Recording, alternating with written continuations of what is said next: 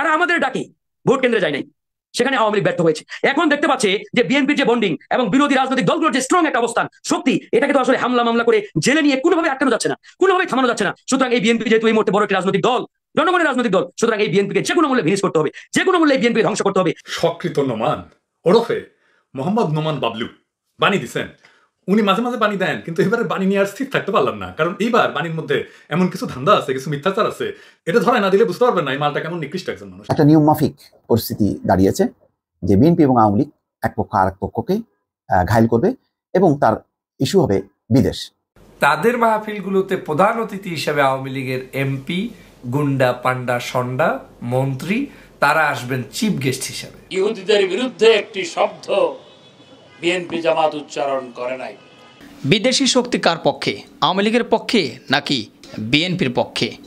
প্রিয় দর্শক শ্রোতা, বিষয়টি নিয়ে মুখ খুলেছে মোস্তফা ফিরোজ। এবং কি পররাষ্ট্রমন্ত্রী বলেছে, বিএনপি জামাত ইসরায়েলের দোসরে পরিণত হয়েছে। কথাটি বলেছেন ডক্টর হাসান মাহমুদ, অর্থাৎ পররাষ্ট্রমন্ত্রী। এবং কি প্রিয় দর্শক শ্রোতা, গত দুদিন আগে বা কয়েকদিন আগে একজন নব্য নাস্তিক, যে কিনা ইসলামের উপরে আঙ্গুল উঠিয়েছিল। ইনশাআল্লাহ সুবাহান আল্লাহ মাশাল্লাহ ইনশাআল্লাহ এই ব্যাপারটি নিয়ে তার চুলকানি হয়েছিল। অবশেষে তাকে রামধলাই দিয়েছে এবং তার আসল চেহারা বের করে নিয়ে এসেছে একজন হিন্দু দাদা পিনাকি ভট্টাচার্য। প্রিয় দর্শক, শ্রোতা, মূলত আজকে পাঁচটি ভিডিও নিয়ে আপনাদের সম্মুখে হাজির হয়েছি। তাছাড়াও, বিএনপি যখন শক্তিশালী হয়ে উঠেছে, তাদেরকে জেলখানায় ঢুকে এসে হামলা মামলা দিয়েছে তাদের উপরে। যখন তা পারতেছে না, তাদেরকে নিঃশেষ করার পায়তারা করতেছে। এমনটাই দাবি করতেছে একজন নেতাকর্মী। এবং কি, প্রিয় দর্শক শ্রোতা, আলেমুল আমাদেরকে সরকার ব্যবহার করছে ফাঁদে ফেলার জন্য। কথাটি বলেছেন ডক্টর ফয়জুল হক। মূলত এই পাঁচটি ভিডিও আজকে আপনাদের সাথে শেয়ার করব। তো চলুন কথা না বাড়াই। সর্বপ্রথম ডক্টর ফয়জুল হক সাহেবের বক্তব্যটি আগে শুনে আসি। তাদের মাহফিলগুলোতে প্রধান অতিথি হিসেবে আওয়ামী লীগের এমপি গুন্ডা পান্ডা সন্ডা মন্ত্রী, তারা আসবেন চিফ গেস্ট হিসেবে।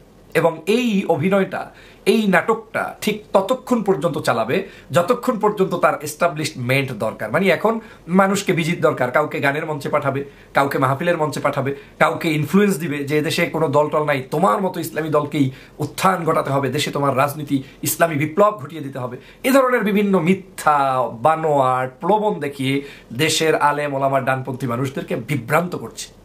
আপনার কাছে কি মনে হয়, যারা খুন করেছে যারা গুম করছে, যারা আপনাকে প্রতিনিয়ত মেরে ফেলছে, যারা আপনাকে, আপনার আদর্শকে ধ্বংস করে দেওয়ার জন্য শিক্ষা ব্যবস্থা ধ্বংস করছে, ইসলামিক সকল তাহাজিব তামাদ্দুনকে ধ্বংস করে দেওয়ার জন্য এদেশের আলেম ওলামাকে চিরশত্রু ভেবেছে, তারা আপনাকে হঠাৎ করে কোলে টেনে নিল? আপনাকে হঠাৎ করে ভালোবাসার আদলে গ্রহণ করল? আলেম ওলামা, পীর মাসায়েক ইসলামপন্থী নাগরিকদেরকে নতুন করে ধোকা দেওয়ার জন্য সরকার মরিয়া হয়ে উঠে পড়ে লেগেছে। বাংলাদেশের আলেম সমাজকে সতর্ক ভূমিকা পালন না করলে এই মুহূর্তে আওয়ামী লীগের এই ফাঁদ থেকে রক্ষা পাওয়া মোটেই সহজ হবে না। আপনারা জানেন যে আজকের বাংলাদেশে একটি অবৈধ ফেসিবাদী শেখ হাসিনার এই সরকার রয়েছে যারা অবৈধ পথে দীর্ঘ প্রায় পনেরো বছরের অধিক সময় ধরে রাষ্ট্র ক্ষমতায় বসে আছে। এদেশে বিভিন্ন সময়ে নামে, বেনামে বিভিন্ন অজুহাতে আলেমন আমাদেরকে জেলবন্দি করেছে, আলেমদেরকে বিনা বিচারে হত্যা করেছে, ফাঁসি দিয়েছে তারপরে গুম করেছে, খুন করেছে, মিছিলে বর্বরচিত হামলা করেছে, গুলি করেছে, সেই ইতিহাস বাংলাদেশের জনগণ জানে। এদেশের প্রাচীনের শাপলা চত্বরের ইতিহাস বাংলাদেশের মানুষ জানে যে রক্তে রঞ্জিত করা হয়েছে সেই শাপলা চত্বরকে, যেখানে শুধু আলেমদের রক্ত, আলেমদের দেহ পড়েছিল, আলেমদেরকে গুম করে ট্রাকে করে নিয়ে গিয়ে কোথায় রেখেছে, তা পর্যন্ত আজকের এই ফেসিবাদী সরকার জানায়নি। সেই মানবতার কর্মী আদিলুর রহমান সাহেব একটি রিপোর্ট করার কারণে হেফাজতে ইসলামকে নিয়ে সে কারণে তাকে পর্যন্ত এই ফেসিবাদী সরকার দুই বছরের জেল ঘোষণা করেছিল, যদিও বর্তমানে জামিনে তিনি মুক্তি পেয়ে বসে আছেন। এ ধরনের বিভিন্ন সংস্থা যারা কাজ করেছে, সেই দিনের বিভীষিকাময় হত্যা নিয়ে তাদের একেবারে ন্যূনতম রেপোর্টটা যেটা, সেখানেও হচ্ছে যে চল্লিশ জন লিস্টেড তারা প্রকাশ করেছে যে চল্লিশ থেকে পঞ্চাশ জন মানুষকে এভাবে করে তারা ওই রাতে হত্যা করেছিল। আর এর বাহিরে সাধারণ নাগরিকদের মানে তাদের কাছে যে বিষয়টা এসেছে সেটা হচ্ছে যে এখানে ওই রাতে শত শত মানুষকে গুম করেছে, কাউকে খুন করেছে, কাউকে শেষ করে ফেলেছে। তারপরে আপনারা জানেন যে বাংলাদেশের সিংহবাগ আলেমদেরকে জেলের মধ্যে শুধু শুধু চেপে ধরে তারপরে তাদেরকে নিয়েছে, শাস্তি দিয়েছে। আপনারা জানেন যে মুফতি কাজী ইব্রাহিম সাহেবকে শাস্তি দিয়েছে, এমনকি একদম অফিসিয়ালি তাকে যতদিন জেলে দিয়েছে, অতদিন জেল তাকে শাস্তি হিসেবে ঘোষণা করার পরে কয়েকদিন আগে বেচারা মুক্ত হয়ে এখন বাহিরে অবস্থান করছেন। আমির হামজা সাহেবের ক্ষেত্রে একই। এই মুক্তি আমির হামজাকে তিন বছর জেলের মধ্যে বন্দি রেখেছে। আল্লামা মামুনুল হক এখন পর্যন্ত তিনি জেলের মধ্যে বন্দি, বাংলাদেশের ইতিহাসে এর চেয়ে নির্লজ্জজনক কোনো রায় হতে পারে না যে একজন ব্যক্তির জামিনই পাচ্ছে না, অথচ তার কোনো অপরাধ নেই। তিনি তার নিজস্ব শরিয়াত মোতাবেক স্ত্রীকে নিয়ে ঘুরতে যাওয়ায় রিসোর্ট থেকে তাকে অপবাদ দিয়ে বিভিন্ন ধরনের হেনস্থা করার পরে এইভাবে আজকের এখন পর্যন্ত তাকে জেলে থাকতে হচ্ছে। বাংলাদেশের দেলোয়ার হোসেন সাইদি সাহেব, আপনারা জানেন যে সকলের কাছে কোরআনের পাখি খ্যাত, বিখ্যাত ব্যক্তিত্ব ইসলামিক স্কলার। তাকে জেলের মধ্যে তারা মেরে ফেলেছে, পুশ করে, ওষুধ দিয়ে ইনজেকশন দিয়ে। এভাবে করে আমি যদি বলতে যাই, তাহলে কওমি আলেম বলেন, ইসলামপন্থী কোনো অর্গানাইজেশনের আলেম বলেন, দলমত নির্বিশেষে বিভিন্ন জায়গা থেকে তাদেরকে জুলুম করা হয়েছে, নির্যাতন করা হয়েছে। এখনও জামাত ইসলামের আমির ডাক্তার শফিকুর রহমান সাহেব কি কারণে বিনা বিচারে অন্যায়ভাবে তাকে জেলের মধ্যে বন্দী রাখা হয়েছে। তিনিও একটা ইসলামপন্থী দলের আমির হিসেবে দায়িত্ব পালন করছেন। তা আমি যদি এভাবে বলি, হেফাজতে ইসলাম, জামাতে ইসলাম, পীর মাসায়েক আলেম, ওলামা, যে পন্থী হোক, এক বাক্যে সবাই কিন্তু জেলের মধ্যে বন্দী, না হয় খুন হয়েছে, ফাঁসি হয়েছে। এভাবে করে শেখ হাসিনা গত পনেরোটি বছর চালিয়েছে। কিন্তু হঠাৎ করে আলেম প্রীতি আবার একটা নতুন অধ্যায় শুরু করার চেষ্টা চালিয়ে যাচ্ছে, যেটা আমি গোপন সংবাদ এবং আমার বিশ্লেষণের ভিত্তিতে বলছি। আওয়ামী লীগ জানে যে এই টানটা যদি তাকে ক্ষমতায় দীর্ঘমেয়াদে থাকতে হয় তাহলে মানুষদেরকে বিজি রাখতে হবে। বিভিন্ন ব্যক্তিকে, বিভিন্ন অর্গানাইজেশনকে, বিভিন্ন সোসাইটিকে ব্যস্ত রাখতে হবে তার কাজের মধ্যে। তো ব্যস্ততার অন্যতম একটি কাজ হচ্ছে এদেশের মাহফিল, এদেশের ইসলামপন্থী স্কলার যারা আছেন তাদেরকে মাঠে ময়দানে ছেড়ে দেয়া। তো তারা মাঠে ময়দানে যারা জেল খেটেছে, যারা আওয়ামী লীগের দৃষ্টিতে খারাপ, যারা বিভিন্ন কারণে নির্যাতনের শিকার হয়েছে, তারাই এখন মাঠে ময়দানে যাবেন।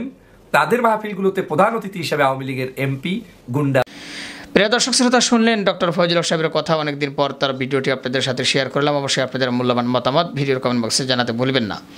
এবার আমরা সেই ভিডিওটি শেয়ার করব। সেটি হলো সকৃত নোমান। কিছুদিন পূর্বে, অর্থাৎ তিনি নিজেকে ভাষা সৈনিক দাবি করে বা বড় ভাষা সৈনিক মনে করে, এই যে আমরা কথায় কথায়, আপনি কেমন আছেন? আলহামদুলিল্লাহ ভালো আছি, ভাত খেয়েছেন, ইনশাল্লাহ খেয়েছি।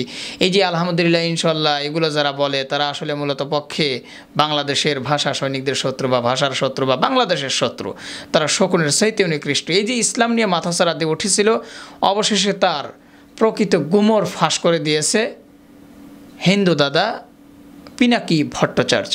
অত্যন্ত নিখুঁতভাবে তাকে রামধলাই দিয়েছে বলতে পারেন। চলুন, ভিডিওটি দেখে আসি।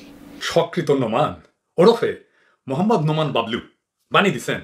উনি মাঝে মাঝে বানি দেন, কিন্তু এবারে বানি নিয়ে আর স্থির থাকতে পারলাম না। কারণ এইবার বাণীর মধ্যে এমন কিছু ধান্দা আছে, কিছু মিথ্যাচার আছে, এটা ধরে না দিলে বুঝতে পারবেন না এই মালটা কেমন নিকৃষ্ট একজন মানুষ। আসেন আমরা দেখে নিই তার কথাগুলো। এক এক করে দেখব আর তার সারমর্ম ধরে আলাপ করব।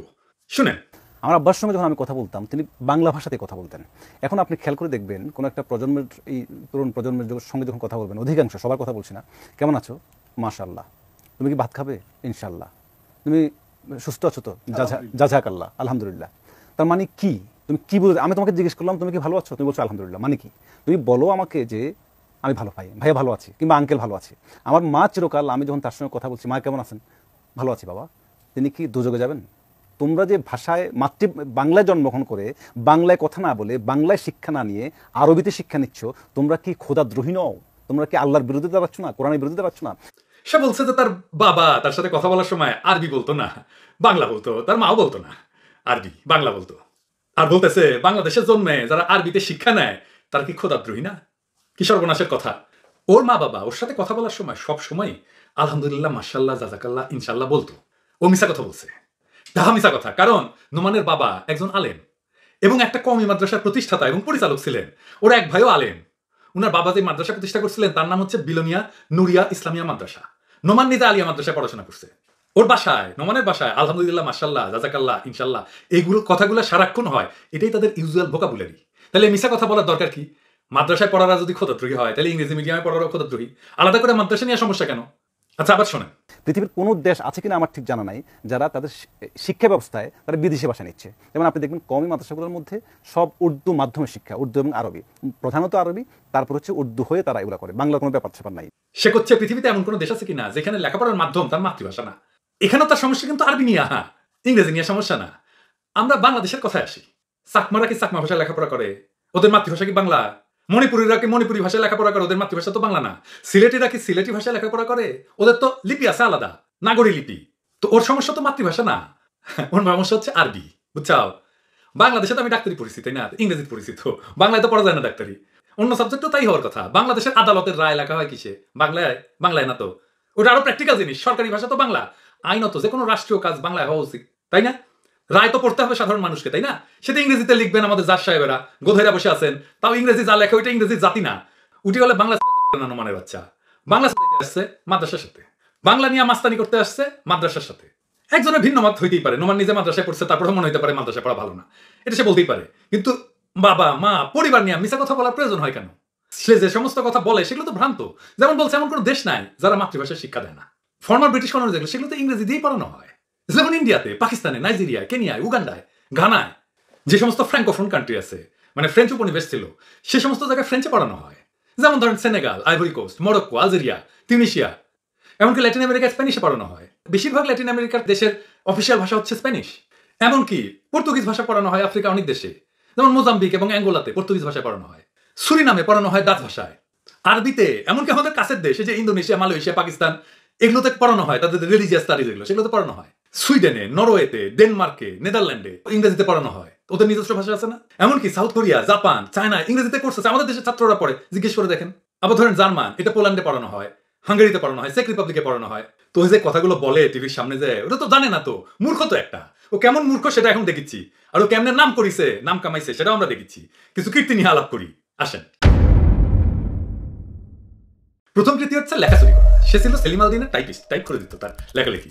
সেলিম আলদিন হইতেছে বাংলাদেশের নাটকের গুরু। আমার বাবার সমসাময়িক। সেলিম আলদিনের লেখালেখি করে দিত সে টাইপ করে দিত। সেলিম আলদিনের কম্পিউটারে তার সমস্ত অসমাপ্ত এবং অসমাপ্ত কাজ ছিল। সেইটা এই নোমান এ চুরি করে পেন ড্রাইভ করে নিয়ে যায়। এবং এই অভিযোগ ওঠার পরে সে নাকি দশ লাখ টাকা পুরস্কার দিবে যদি প্রমাণ করতে পারে কেউ। যে শুনেন সে কি বলে? যদি কেউ প্রমাণ করতে পারেন আমি তাকে দশ লক্ষ টাকা পুরস্কৃত করব। রে নোমান রে লে লে প্রমাণ নে। সেলিম আলদিনের ওয়াইফের মুখে শোন। নেন প্রমাণ দেখে দিচ্ছি। সেলিম আলদিন স্যারের পাণ্ডুলিপি চুরি গেছে। তো সেই প্রসঙ্গে আপনি কি বলবেন? এটা সত্যি। হ্যাঁ, এটা মিথ্যা নয় এটা একেবারে পুকুর চুরি বলা যায়। হ্যাঁ আমি তো মনে করি যে সেলিম সেই ওই যে খাল কেটে কুমির আনা এইরকমই হয়তো একজনকে আমার গৃহে ঢুকিয়েছিলেন যে খুব একটা মানে সর্বনাশা কাজ করে গেছেন। আহ, তার আহ, আমি বলব যে তাকে আমি আহ, কোনো ক্রমেই কি বলা যায় পিএস বলতে আমি রাজি না। কম্পিউটার অপারেটর বলা যায় নাকি, বড় জোর কারণ একজন মানুষের পিএস হতে গেলে যে যোগ্যতা দরকার, তার সে যোগ্যতা ছিল না। আমি যা বললাম, এটার সত্যতা প্রমাণ হবে। আমাদের ঢাকা থিয়েটারের অঙ্গ সংগঠনগুলো হচ্ছে গ্রাম থিয়েটার। তো রাজশাহীর পুঠিয়া থিয়েটারের সাইদ হোসেন দুলাল ওর কাছ থেকে এই সব প্রীতনমান গিয়ে নাসিরুদ্দিন ইউসুফ বাচ্চু ভাইয়ের বরাদ দিয়ে বলেছে বাচ্চু ভাই আপনার কাছে সেলিম আলদিন যে চিঠিগুলো লিখতো এই চিঠিগুলো চেয়েছে। বাচ্চু ভাই। সে আর একটা সহজ বিশ্বাসে আমার মতো সহজ বিশ্বাসে দিয়ে দিয়েছে। দেখলেন তো প্রমাণ? ওর কাছ থেকে দশ লাখ টাকা বের করে নেবেন ধরে বের করে নেবেন নয়তো প্যান্ট খুলে রাখবেন। দেখেছেন কেমন খাচ্চর? সেলিম আলদিনের ওয়াইফ বললেন না একটা পুঠিয়ার দুলাল। হ্যাঁ এডিটার সাহেব আবার ওই জায়গাটা শোনান তো। আমি যা বললাম এটার সত্যতা প্রমাণ হবে। আমাদের ঢাকা থিয়েটারের আহ, অঙ্গ সংগঠনগুলো হচ্ছে গ্রাম থিয়েটার। তো রাজশাহীর পুঠিয়া থিয়েটারের সাইদ হোসেন দুলাল ওর কাছ থেকে এই সব প্রীতনমান গিয়ে নাসিরুদ্দিন ইউসুফ বাচ্চু ভাইয়ের বরাদ দিয়ে বলেছে বাচ্চু ভাই আহ, আপনার কাছে সেলিম আলদিন যে চিঠিগুলো লিখতো এই চিঠিগুলো চেয়েছে। আহ, বাচ্চু ভাই। সে আর সহজ বিশ্বাসে আমার মতো সহজ বিশ্বাসে দিয়ে দিয়ে দিয়েছে। ওই দুলাল ভাই আমার খুব পরিচিত উনি করতেন।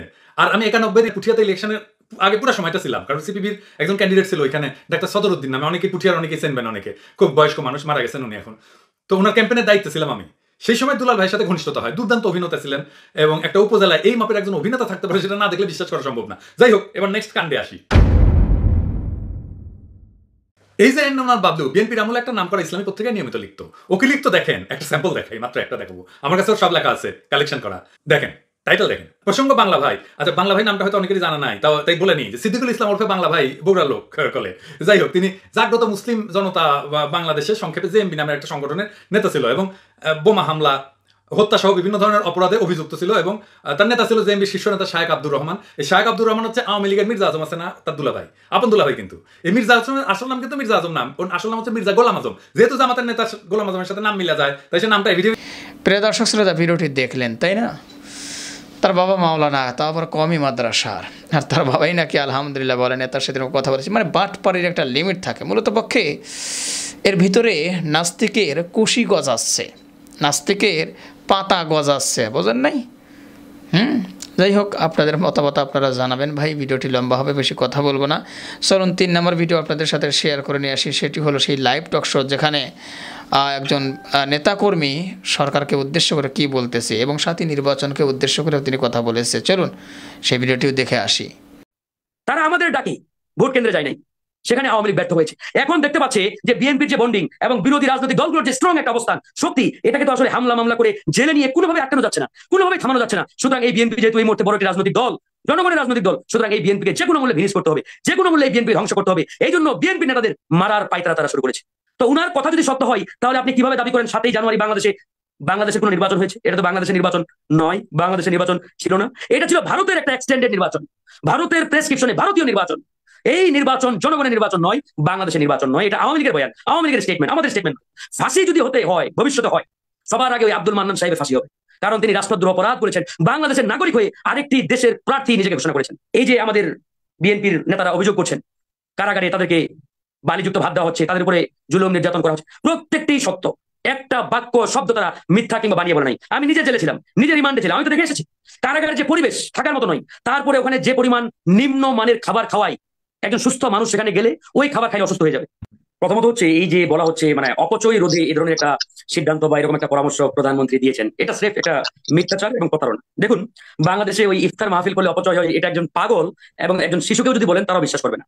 অপচয় যেখানে হয়, সেখানে এই সরকারের দায়িত্বশীল মন্ত্রী বলেন, এমপি বলেন, প্রধানমন্ত্রী বলেন, কারও মাথা ব্যথা নেই। আমি তিনটা এক্সাম্পল দিই। এর আগে আমাদের কাদের ভাই অলরেডি একটা এক্সাম্পল দিয়েছেন। আমাদের পাঠ্যপুস্তক থেকে, এই পাঠ্যপুস্তক ছাপাতে গিয়ে তেইশ কোটি টাকা অপচয় হয়েছে সরকারের। এক বছরের খতিয়ান। তারপরে দেখেন আরেকটি তথ্য। শুধুমাত্র আমাদের গ্যাস ক্ষেত্র থেকে মানে গ্যাস ফিল্ড থেকে তিন হাজার পাঁচশো কোটি টাকা অপচয়। এই যে দেখেন ভাই, বাংলাদেশ থেকে এক লক্ষ কোটি টাকা ভারতকে দেওয়া হয়েছে। ক্যাপাসিটি চার্জ নামে। বিনিময়ে কোনো বিদ্যুৎ আমরা আজও পাই নাই। যেখানে সেই এক লক্ষ টাকা দিয়ে চার চারটা পদ্মা ব্রিজ আমরা বানাতে পারতাম। এই এক লাখ, লক্ষ কোটি টাকা, জনগণের ভ্যাট ট্যাক্সের টাকা ভারতের হাতে তুলে দেওয়া হয়েছে। সেটা নিয়ে এই ভোট চোর দামি প্রধানমন্ত্রীর ন্যূনতম মাথা ব্যথা নেই, প্রশ্ন নেই, উদ্যোগ নেই। তার উদ্যোগটা কোথায়? তার মাথা ব্যথাটা কোথায়? কেন বাংলাদেশের জনগণ ইফতার মাহফিল করবে? কেন বাংলাদেশের জনগণ ইফতার মাহফিলের নামে লোকজন একসাথে বসে একটা সুন্দর, সৌহার্দ্যপূর্ণ বন্ডিং এর মাধ্যমে তারা ধর্মীয় মূল্যবোধটাকে ছড়িয়ে দিবে? এগুলো নিয়ে তাদের মাথা ব্যথা। আমাদের ভাই মেহেদি, আওয়ামী লীগের একজন খাঁটি সমর্থক। এই মেহেদি ভাই তিনি বললেন, বিরোধী দল যখন এই ভোট চুরি থামাতে চায়, এই ভোট চোরদেরকে দমাতে চায়, প্রতিরোধ করতে চায়, এটা নাকি রাষ্ট্রদ্রোহ অপরাধ হয় আর যখন আওয়ামী লীগের এক বর্ষিয়ান নেতা নিজেকে ভারতের প্রার্থী দাবি করে, নিজেকে ভারতের ক্যান্ডিডেট দাবি করে, এটা রাষ্ট্রদ্রোহ অপরাধ হয় না। এসব ভণ্ডামি ছাড়ুন। এসব ভণ্ডামি ছাড়ুন, মেহেদি ভাই। আপনার দলের এক নেতা, বর্ষিয়ান নেতা, যখন নিজেকে ভারতের প্রার্থী বলে ঘোষণা দিয়েছিল, সেদিন আপনি কোথায় ছিলেন? আপনার এই প্রধানমন্ত্রী, আপনার এই দল, সেই বর্ষিয়ান নেতাকে দল থেকে বহিষ্কার করেছে? করে নাই। এই আপনাদের মেরুদণ্ডী নির্বাচন কমিশন তাকে একটা শোকজ নোটিশ পর্যন্ত দেয় নাই। দ্যাট মিনস ওই আওয়ামী লীগের নেতা যে বক্তব্য দিয়েছেন, এটি পানির মতো পরিষ্কার, সত্য এবং সত্য। তা না হলে তার বিরুদ্ধে নেওয়ার কথা। তো উনার কথা যদি সত্য হয়, তাহলে আপনি কীভাবে দাবি করেন সাতই জানুয়ারি বাংলাদেশে? বাংলাদেশের কোনো নির্বাচন হয়েছে? এটা তো বাংলাদেশের নির্বাচন নয়। বাংলাদেশের নির্বাচন ছিল না। এটা ছিল ভারতের একটা এক্সটেন্ডেড নির্বাচন। ভারতের প্রেসক্রিপশনে ভারতীয় নির্বাচন। এই নির্বাচন জনগণের নির্বাচন নয়, বাংলাদেশের নির্বাচন নয়। এটা আওয়ামী লীগের বয়ান। আওয়ামী লীগের স্টেটমেন্ট আমাদের স্টেটমেন্ট সেটা রাষ্ট্রদ্রোহ অপরাধ। ফাঁসি যদি হতে হয়, ভবিষ্যতে হয় সবার আগে ওই আব্দুল মান্নান সাহেবের ফাঁসি হবে। কারণ তিনি রাষ্ট্রদ্রোহ অপরাধ করেছেন, বাংলাদেশের নাগরিক হয়ে আরেকটি দেশের প্রার্থী নিজেকে ঘোষণা করেছেন। এখন আসুন, এই যে আমাদের বিএনপির নেতারা অভিযোগ করছেন, কারাগারে তাদেরকে বালিযুক্ত ভাত দেওয়া হচ্ছে, তাদের উপরে জুলুম নির্যাতন করা হচ্ছে, প্রত্যেকটি সত্য, একটা বাক্য, শব্দ তারা মিথ্যা কিংবা বানিয়ে বলে নাই। আমি নিজে জেলে ছিলাম নিজে রিমান্ডে ছিলাম, আমি তো দেখে এসেছি। কারাগারের যে পরিবেশ, থাকার মতো নয়। তারপরে ওখানে যে পরিমাণ নিম্ন মানের খাবার খাওয়াই একজন সুস্থ মানুষ সেখানে গেলে ওই খাবার খাইলে অসুস্থ হয়ে যাবে। প্রচণ্ড রকম বালু থাকে, গন্ধ থাকে পোকা থাকে এবং এত নিম্নমানের খাবার। তারপরে আপনি দেখেন, সেখানে ট্রিটমেন্টের কোনো ন্যূনতম মানদণ্ড মেনটেন করা হয় না। নাপা আর প্যারাসিটামল বাদে অন্য কোনো ট্যাবলেট ওই কারাগারের একটা মেডিকেল সেন্টার আছে আছে কিনা আমি জানি না। আমি নিজে অসুস্থ হয়ে হাসপাতালে ছিলাম। ওই নাপা আর প্যারাসিটামল ছাড়া অন্য কিছু পাই নাই। অথচ আন্তর্জাতিক যে ক্রাইটেরিয়া আন্তর্জাতিক যে আইন, একজন কারাবন্দী নিয়ে, যে সে যদি রাষ্ট্রদ্রোহ মামলার অপরাধীও হয়, তারপরেও তার মৌলিক অধিকারে কোনো রাষ্ট্র, কোনো সরকার হস্তক্ষেপ করতে পারবে না। তার মৌলিক অধিকার অবশ্যই তাকে দিতে হবে। আজকে আমার খাদ্য, বস্ত্র, চিকিৎসা, এগুলো আমার মৌলিক অধিকার। বেসিক ডিমান্ড কিন্তু সেই মৌলিক অধিকারগুলো পর্যন্ত আমরা এই সরকারের কাছে পাচ্ছি না। কারাগারে আজকে বালিযুক্ত খাবার, দুর্গন্ধযুক্ত খাবার, এটা কি মিথ্যা? তদন্ত করে দেখুক, সরকার বিদেশি কোনো সংস্থাকে তদন্তের দায়িত্ব দুক, আমি ফারুক হাসান চ্যালেঞ্জ দিয়ে বলছি, একটা বাক্য, তথ্য, শব্দ যদি তারা মিথ্যা বলে থাকে, আমরা চ্যালেঞ্জ দিয়ে আমরা নাকে খত দিয়ে ক্ষমা চাইব, পারবে না। কারাগারের পরিবেশ, শতভাগ রুহুল কবির রিজভি ভাই যে ধরনের বক্তব্য দিয়েছেন, সত্য। আজকে আমির খসরুর বাসায় একটা মিটিং ছিল, আমি কিছুক্ষণ আগে মানে আটটার দিকে আমির খসরু ভাইয়ের বাসা থেকে বের হলাম। আমির খসরু ভাই নিজেই বললেন, কারাগারে কি অবর্ণনীয়, পরিবেশ কি অবর্ণনীয় মানে আচরণ তাদের সাথে করা হয়। মানে এটা বলার মতো ভাষা নেই। এগুলো তো আসলে পানির মতো পরিষ্কার কিন্তু কোনো পত্র পত্রিকা হবে না। এখন আসলে এই যে বিএনপি ভাঙা বা বিএনপি নষ্ট করার সরকারের যে পরিকল্পনা এটি সত্য। এবং এই পরিকল্পনা আজকে আওয়ামী লীগের আজকে থেকে নয় এটি দীর্ঘদিন ধরে তারা নিয়ে আসছে। কারণ তারা নির্বাচনের আগে এই বিএনপিকে চেষ্টা করেছিল ভাঙার জন্য। শেষমেশ যখন বিএনপি ভাঙতে পারে নাই তারপরে বিএনপির বড় একটি অংশকে বড় একটি অংশকে এখান থেকে বের করে এনে নির্বাচনে নিয়ে যাওয়ার চেষ্টা করেছিল। ডিজিএফআই এনএসআই গোয়েন্দা সংস্থাকে লেলিয়ে দেওয়া হয়েছে। অনেক চেষ্টা করেছে বিএনপিকে ভাঙতে পারে নাই। ওই দু একটা শাহজাহান উমরের মতো মুনাফেক ছাড়া মির্জাফর ছাড়া বিএনপির মোটা দাগের এক থেকে দুইজন নেতাও তারা টানতে পারে নাই ভাঙতে পারে নাই। তারপরে তারা প্ল্যান করল যে বিএনপিকে বাইরে রেখে নির্বাচন করব যাতে জনগণ ভোট কেন্দ্রে যায়। সেটাতেও তারা ব্যর্থ হয়েছে। তারা আমাদের ডাকে, ভোট কেন্দ্রে যায় নাই।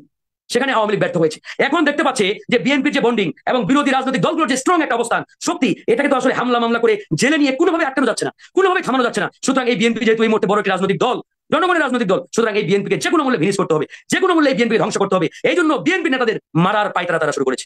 সেই মিশনে তারা নেমেছে। তার ওই ধারাবাহিকতায় রুল কবির রিজভি যে অভিযোগ করেছেন ট্রু সত্য। একটাও মিথ্যা তিনি বলেন নাই। এটা সত্য পানির মতো।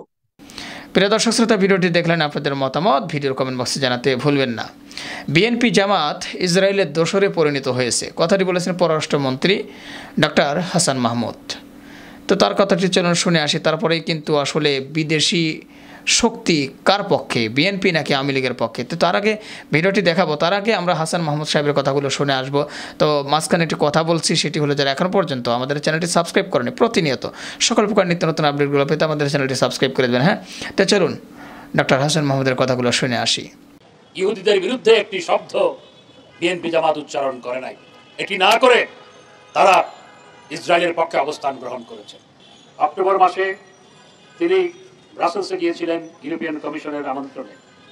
সেখানে তিনি ফিলিস্তিনে গাজায় যুদ্ধ এবং রাশিয়া ইউক্রেন যুদ্ধ বন্ধ করার জন্য যেই বক্তব্য রেখেছেন, পুরো হল দাঁড়িয়ে করতালিতে মুখরিত করেছে জননেত্রী শেখ হাসিনাকে অভিনন্দন জানিয়েছে তার অসাধারণ বক্তব্যের জন্য। কদিন আগে তিনি মিউনিক সিকিউরিটি কনফারেন্সে গিয়েছেন। সেখানে বহু বিশ্ব নেতার তার বৈঠক হয়েছে। সেই সমস্ত বৈঠকে তিনি গাজায় যে সহিংসতা, মানবতার বিরুদ্ধে অপরাধ, যুদ্ধ বন্ধ করার জন্য যেমন বলেছেন জেরোডিস্কির সাথে যখন বৈঠক হয় জেরোডিস্কি নিজেই শেখ হাসিনার সাথে দেখা করতে চেয়েছিলেন। যখন ইউক্রেনের প্রেসিডেন্ট জেরোনিস্কি তার সাথে দেখা করেন, তখন তিনি বলেছেন, যুদ্ধ কারও মঙ্গল বয়ে আনছে না। তোমরা ক্ষতিগ্রস্ত হচ্ছ, রাশাও ক্ষতিগ্রস্ত হচ্ছে, আর পুরো বিশ্ব ক্ষতিগ্রস্ত হচ্ছে, ইউরোপ তো বটেই। আর কেউ কেউ দূর থেকে চেয়ে চেয়ে তাকাচ্ছে, হয়তো অন্য কারও লাভ হচ্ছে। কিন্তু যারা অস্ত্র বিক্রি করে তাদের লাভ হচ্ছে, অন্য কারও লাভ হচ্ছে, কিন্তু তোমাদের কোনো লাভ হচ্ছে না। তাই যুদ্ধ বন্ধ করার উপায় খুঁজে বের করার জন্য তাকে আহ্বান জানিয়েছে। সেই বৈঠকেই তিনি জেরোনেস্কিকে প্রশ্ন রেখেছেন, বলেছেন যে গাজায় যে সহিংসতা হচ্ছে, মানুষ মারা হচ্ছে ব্যাপারে তোমার কি বক্তব্য? এটা তো মানবতার বিরুদ্ধে অপরাধ সংঘটিত হচ্ছে। তিনি জেরোনিস্কিকে সেই প্রশ্ন রেখেছেন এবং সেখানেও সহিংসতা বন্ধ হওয়া মানবতার বিরুদ্ধে অপরাধ যেটি সংঘটিত হচ্ছে সেটি বন্ধ হওয়া যে অত্যন্ত জরুরি, সেই কথা বলেছে। আমরা আজকে ফিলিস্তিনে প্রতিদিন কত মারা যাচ্ছে, সেই সংবাদ গণি, দেখি। মানুষের সংখ্যা গণি এবং টেলিভিশনের পর্দায় সেই সহিংসতা দেখি। আর পুরো পৃথিবী শুধুমাত্র চেয়ে চেয়ে তাকাচ্ছে। এর চেয়ে জঘন্য আর কোনো কিছু হতে পারে না। এবং তার চেয়েও জঘন্য হচ্ছে, আজ পর্যন্ত বিএনপি এবং জামাত এই ফিলিস্তিনে গণহত্যার বিরুদ্ধে একটি শব্দ উচ্চারণ করে নাই। বিএনপি এবং জামাত নিশ্চুপ থেকে এই গণহত্যার পক্ষে অবস্থান নিয়েছে। বিশ্ব যারা চুপ আছে তারাও গণহত্যার পক্ষে প্রিয় দর্শক শ্রোতা শুনলেন তার কথাগুলো। আশা করি বুঝতে পেরেছেন তিনি কি বুঝাইতে চেয়েছেন তো এই ব্যাপারটি নিয়ে আপনাদের কিছু মতামত থাকলে সেটা কমেন্ট বক্সে জানিয়ে দিবেন। এবার আমরা সর্বশেষ ভিডিও আপনাদের সাথে যেটি শেয়ার করব সেটি হলো যে বিদেশি শক্তি আসলে কার পক্ষে? বিএনপি নাকি আওয়ামী লীগের পক্ষে? হ্যাঁ? এ বিষয়টি নিয়ে আসলে তিনি বিস্তারিত আলোচনা করেছে মোস্তফা ফিরোজ। তো চলুন, তার বক্তব্যটি শুনে আসি। আসসালামু আলাইকুম, সুপ্রিয় দর্শক। কি নিয়ে এখন রাজনৈতিক উত্তেজনা? এটা ঠিক বোঝা যাচ্ছে না। একটা নিয়ম মাফিক পরিস্থিতি দাঁড়িয়েছে যে বিএনপি এবং আওয়ামী লীগ এক পক্ষ আর এক পক্ষকে ঘায়ল করবে এবং তার ইস্যু হবে বিদেশ। অর্থাৎ আওয়ামী লীগ বলবে যে বিএনপি বিদেশিদের মদতে ষড়যন্ত্র করছে, আর বিএনপি বলবে যে তারা ওই বিদেশি শক্তির উপর ভর করে না। তো তেমনই দুটো শিরোনাম দর্শক আপনাদের সামনে নিয়ে একটু বিশ্লেষণ করি এবং খবরটাও আপনাদেরকে জানাই। ডক্টর মঈন খান বলছেন যে বিএনপি কোনো বিদেশি শক্তি নিয়ে রাজনীতি করে না। আর ওবায়দুল কাদের বলছেন বিএনপি দেশ ধ্বংসের মাস্টার প্ল্যান বাস্তবায়নে তৎপর। আজকে দুজনই দুটি অনুষ্ঠানে কথা বলেছেন। আচ্ছা একটু দেখি কি কথা বলেছেন। তিনি বলেন যে বিএনপি কোনো বিদেশি শক্তি নিয়ে রাজনীতি করে না বলে মন্তব্য করেছেন দলটির স্থায়ী কমিটির আব্দুল মঈন খান। তিনি বলেন, আমরা বাংলাদেশকে নিয়ে গর্ব করি, বিদেশকে নিয়ে রাজনীতি করি না। এটা ক্ষমতাসীন আওয়ামী লীগ করে। তো এটা ঠিক এই যে সম্প্রতি একটা বোঝাই যাচ্ছে যে সরকারি মহলের একটা ক্ষোভ যে এই এত কিছুর পরেও সেই বিএনপি নেতাদের সঙ্গেই তারা বৈঠক করছে। মার্কিন প্রতিনিধি দলের গুরুত্বপূর্ণ তিনজন সদস্য এসে বিএনপি নেতাদের সাথে বৈঠক করেছে। তো সেইটাকে ইঙ্গিত করে তারা খোঁচা দিচ্ছে, তার জবাব দিচ্ছে। বলছে যে তারা বিদেশিদের সহায়তায় ক্ষমতা যাওয়ার কথা চিন্তা করে না। মঈন খান বলছেন, আমরা বাংলাদেশকে নিয়ে গর্ব করি, বিদেশকে নিয়ে রাজনীতি করি না, এটা ক্ষমতাসীন আওয়ামী লীগ সরকার করে। বৃহস্পতিবার এক অনুষ্ঠানে তিনি এই কথা বলছেন। মঈন খান বলছেন, জিয়াউর রহমান ঐক্যে রাজনীতি করেছেন বিভাজনের রাজনীতি করেননি, যেটা আজকে আওয়ামী লীগ করছে। আওয়ামী লীগ দেশের মধ্যে স্বাধীনতার পক্ষের শক্তি ও বিপক্ষের বলে বিভেদ তৈরি করে আজীবন ক্ষমতায় থেকে শাসন করতে চায়। তারা ক্ষমতার লোভে বিভাজনের মাধ্যমে এই জাতিকে ধ্বংস করে দিচ্ছে। তো এই হচ্ছে ওনার বক্তব্য। আর ওবায়দুল কাদের বড় বড় কড়া বক্তব্য রাখেন। আজকেও বলছেন যে বিএনপি দেশ ধ্বংসের মাস্টার প্ল্যান বাস্তবায়নে তৎপর। কি বলছেন? এটা গণমাধ্যমে পাঠানো এক বিবৃতিতে বলছেন। তারপরে জিয়াউর রহমানের সমালোচনা করছেন যে, এ তারপরে বলছেন যে বিএনপি মহাসচিব মির্জা ফখরুল ইসলাম আলমগীরের মুখে গণতন্ত্র ও দুঃশাসনের কথা বেমানান। প্রায় প্রতিদিনই দেখা যাচ্ছে মির্জা ফখরুল ইসলাম আলমগীরকে লক্ষ্য করেই বক্তব্য রাখছেন ওবায়দুল কাদের। কিন্তু মির্জা ফখরুল ইসলাম আলমগীর কিন্তু ওবায়দুল কাদেরের কোনো কথাকে সূত্র ধরে বা কোর্ট করে কিন্তু কোনো সমালোচনা করছেন না। তিনি সামগ্রিকভাবে তার বক্তব্য দিয়ে যাচ্ছেন। ওবায়দুল কাদের বলেন, সন্ত্রাসী রাজনীতির প্রতিভূ, জঙ্গিবাদ, উগ্রবাদের পৃষ্ঠপোষক, বিএনপির মহাসচিব মির্জা ফখরুল ইসলাম আলমগীরের মুখে মানুষের জানমালের নিরাপত্তা নিয়ে কথা বলাটা ভূতের মুখে রাম নাম ছাড়া কিছু না।